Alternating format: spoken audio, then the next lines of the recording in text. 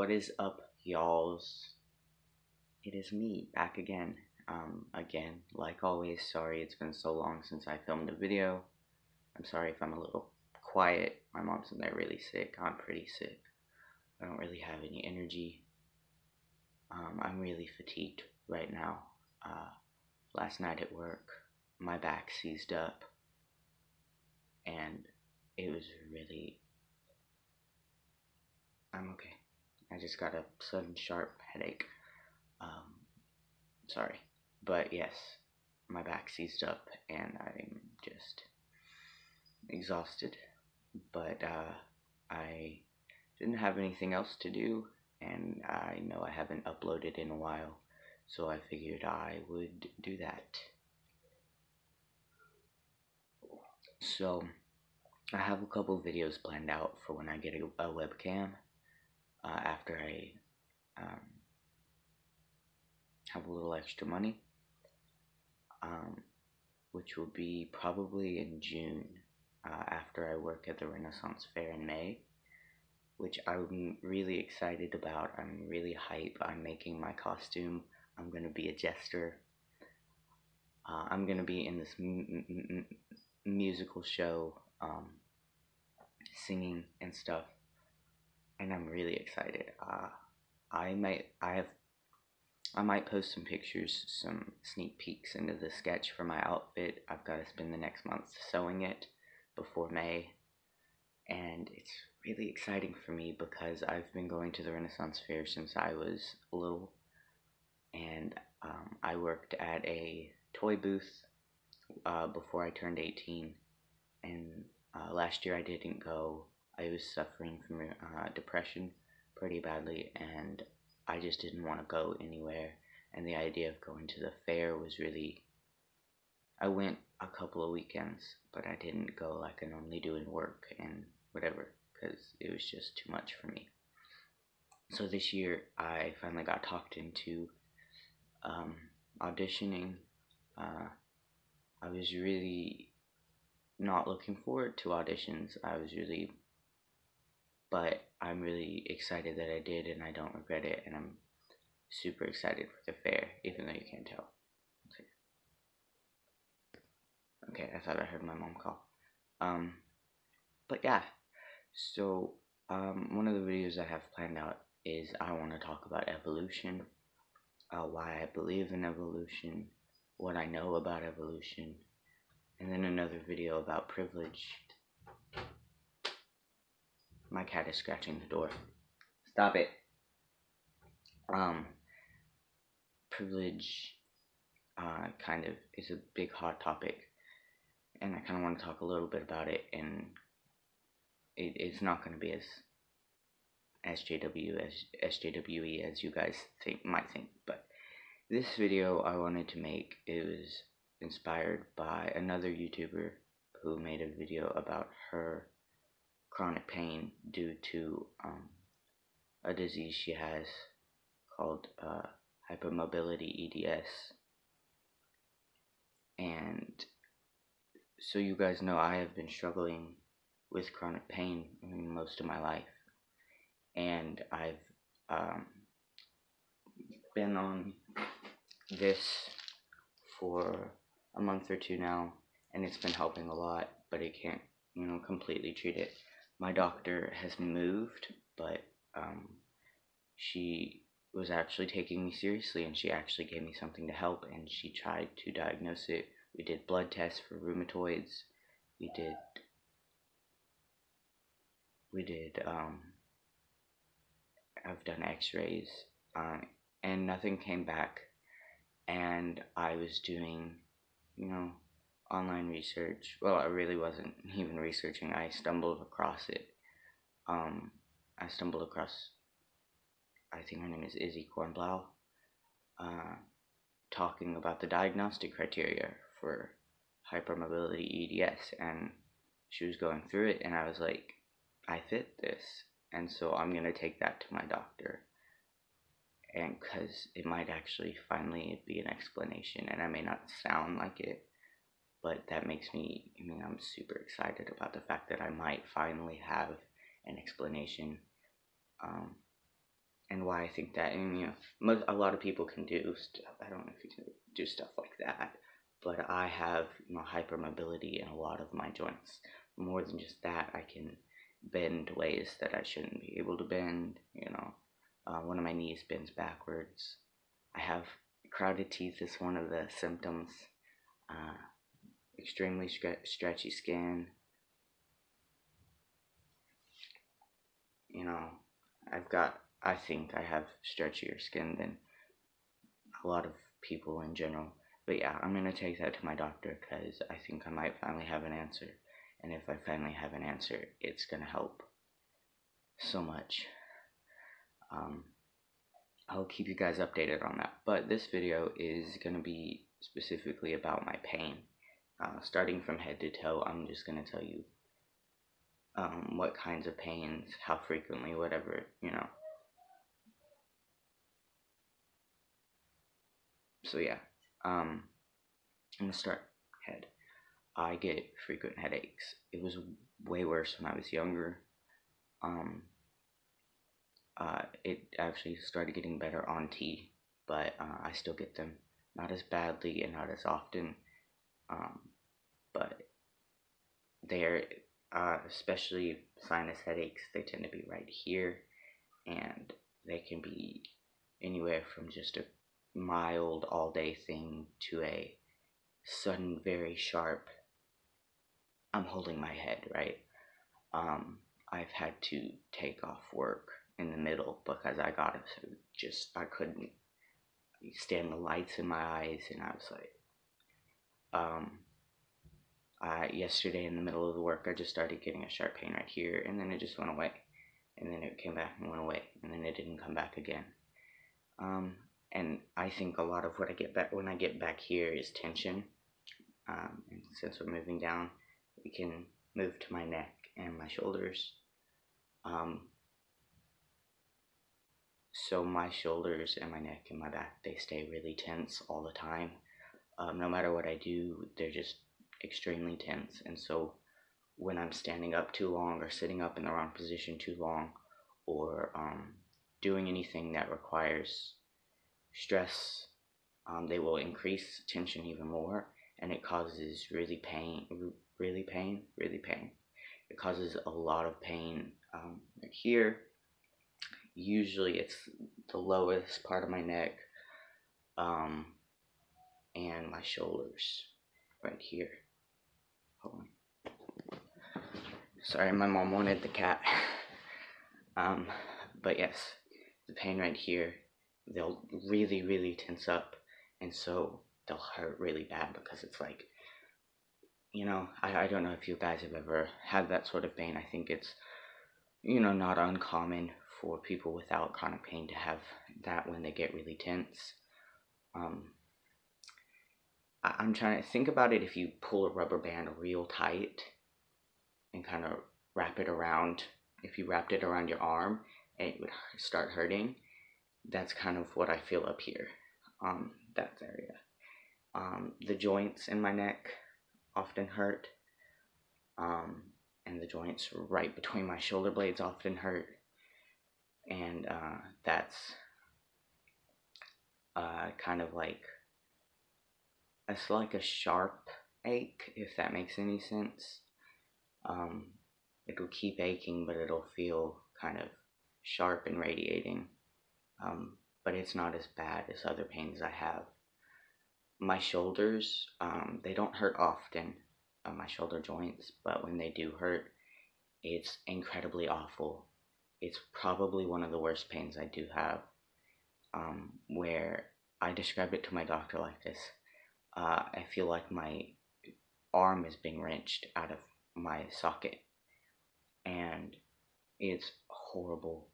Um, if you've ever dislocated a shoulder, it's about like that, except I don't, they're not dislocated. Um, I can actually purposely dislocate them, but it doesn't hurt. Um, that is, it's incredibly painful. I don't recommend it. My doctor, when I described it to her like that, she goes, That is a horrible description. That sounds horrible. It's disturbing, basically. So moving down from there is the rib, my ribs. Um, most most of my rib pain is from binding, but uh, I also suffer have suffered from chronic pain there because my ribs are very um, like the rest of my body. They're a little hype. They're hypermobile. I can move them with my hands, and it's really uh, common for them to pop out of place. Um, when I'm working, uh, I have one specific rib that just repeatedly pops out of place, and so when I'm working, when I'm making movements like this, it's not uncommon that it'll just feel like somebody suddenly stabbed me and then it went away pretty it goes away pretty quickly but i'm pretty sure that's just it popping out of place and maybe back in. Um, and it hurts. It hurts like being stabbed but it's very quick and then it's over and i'm over it um, moving down from there is um, my lower back. My middle back the middle of my back isn't so bad. My lower back uh, does hurt a lot. Um, it's where my muscles seized up last night. Um, the muscles there don't hurt very often unless I'm doing too much moving, but the uh, joints there can hurt really, really bad. It's a ache that can last for days. Um, it can be sharp or it can be dull, and that's um, pretty frequent, pretty frequent, but not all the time. And I'm, you know, for the last, you know, month or two since I've started the medicine, it's been less so. So this is my experience mostly before the medicine, but sometimes still on it. Oh, I did forget to mention um, my arms. You know, my arms are they're kind of down from my spine. You know, in a manner of speaking. Um, my hands uh, don't usually hurt, but if I'm working, I've got a vacuum that I've got to hold on to, and I've got to hold on to it like this for about an hour at a time. And after that, uh, they do start hurting really bad, a really bad ache, stuff like that. Um, I arthritis runs in my family. I do know that I'm probably going to have it when I'm older. Um, so I'm not too surprised by that. But yeah, uh, with my fingers, you know, I can do stuff like bend my fingers further back than they should go without it really hurting too much unless I do it repeatedly. I've really got to get myself out of the habit of that because it's something I've done since I was little is just unhealthily bend my fingers. Um, my elbows don't usually hurt, but once in a while they do. And then, so from there, from my back is my hips. And my hips are the absolute worst. Um, my most common hip pain is in my sleep, actually. I will wake up and it will be extremely sharp and extremely radiating, meaning it'll start in my hips and go down to my knees and then go from my knees to my ankles. Um, and it's it's not quite as like wrenching as my shoulders. It's just more like to me it feels like bone against bone, which I know it isn't, like bone rubbing bone, but that's the only way I can really describe it. Um, so if you don't suffer chronic pain, it might be hard to understand, but it's like it's almost like there's a fire in my joint. Like have you ever if you've ever burned yourself, it almost feels like the initial burn in the joint. Eh, and it's horrible and I have to I have to move. Sometimes I have to get out of bed and uh, to get out of the right wrong position or whatever and realign. Um, this happens sometimes while I'm awake, this particular pain, um, but more often while I'm asleep. And uh, I wake up to it. I wake up crying because, oh my god, it's so bad. Um, I also suffer regular regular pain in my joints day to day. Uh, it'll pinch. I call it a pinching pain it'll start every time I take a step, it feels like it's pinching something, and I have to sit down. Um, this is when I got a lot in school, and I would have to sit, you know, away from my gym class, or I would have to roll down a chair in the hallway because I couldn't walk to my next class. Um, another pain I get in my hip rarely um, I call it, I, is where it locks. I did forget something in my elbow, but I'll tell you that after my hip. Uh, I call it locking. Uh, I'll take a step up, um, like a stair or something to climb, and my hip, it feels like um, it'll pop into a certain place and it won't be able to move it at all. And if I try, the pain is excruciating. It's beyond excruciating. And it might be pinching a nerve. That might be what's happening or something. But I can't move it to unbend it and I can't move it to keep stepping. Usually I fall if that happens. It happens very rarely. My pain, my back is in pain. Um, but it does happen and it's the worst pain I've ever felt. Um, the elbow one I forgot is sometimes I will go to do something and stretch out my arm. All of my joints pop all the time. Um, but I'll, I'll, do something to stretch out my arm and it'll do what I call catching, where I can only get it this far and then it hurts to keep trying to go. And I just have to do that to uncatch it. And I'm not sure what's happening there and it doesn't hurt afterward. Um, but it does hurt for a minute there if I try to just. Yeah. Um, so from my hips, I'm probably missing something in my hips because my hips suffer a lot. So from my hips, I go into my knees, and my knees, um, they fall on the scale right after my shoulders. Um, they don't have as bad as pain, but they are more frequent. They are what really plagued me worse in school um, because you know I would just stand up and randomly my knee would be like, nope, I don't like that, and it would be like I, I would sometimes have to mom, bring call my mom to bring me a brace just so I could walk um, to my next class, and the pain in my knees uh, often comes from the pain in my hips, but sometimes it's its own kind of radiating ache um, sometimes it's like every time I take a step, it aches. Um, or if I just stand up, it aches and I have to sit down. And uh, one of my knees uh, hyperextends, so instead of just going to the flat, it'll do this. Um, and that's inter- that's an interesting experience, but my knees also bruise very easily. I don't know what's up with that, but I've always got bruises on my knees for some reason.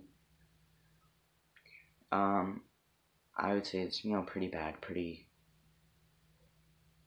annoying, really, because I'll need to do something and I'll wind up my knees hurting or my hips hurting, and I'm just like, and it makes me so tired.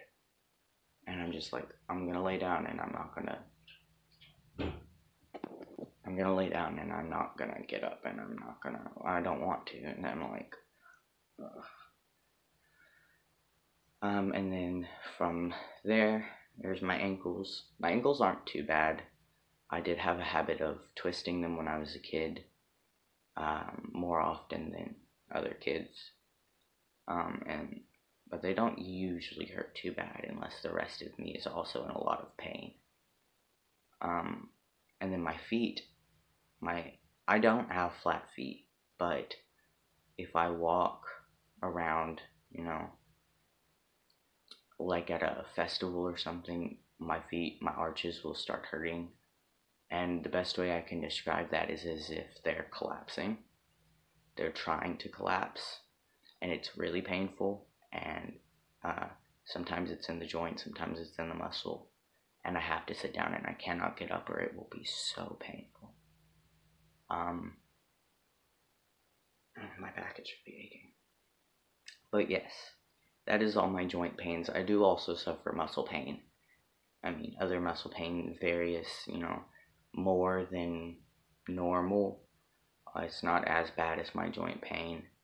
Um, but like if I work out, my muscles will be like, uh, or if I'm like stretching, uh, it'll be like I don't know how to describe it. That's just the face I feel like making. Uh, yesterday I had to hold a bag out to my mom like this so she could clean something. And it was like, it was like 15 seconds before I was like, my arms are hurting so bad and I had to set it down.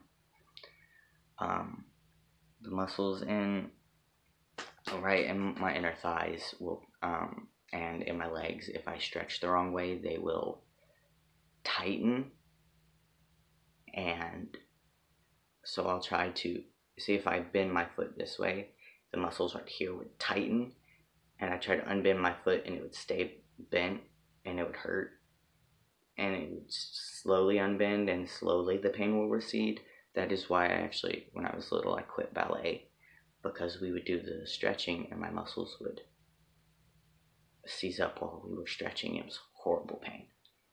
Um, I think, I think that's mostly about it.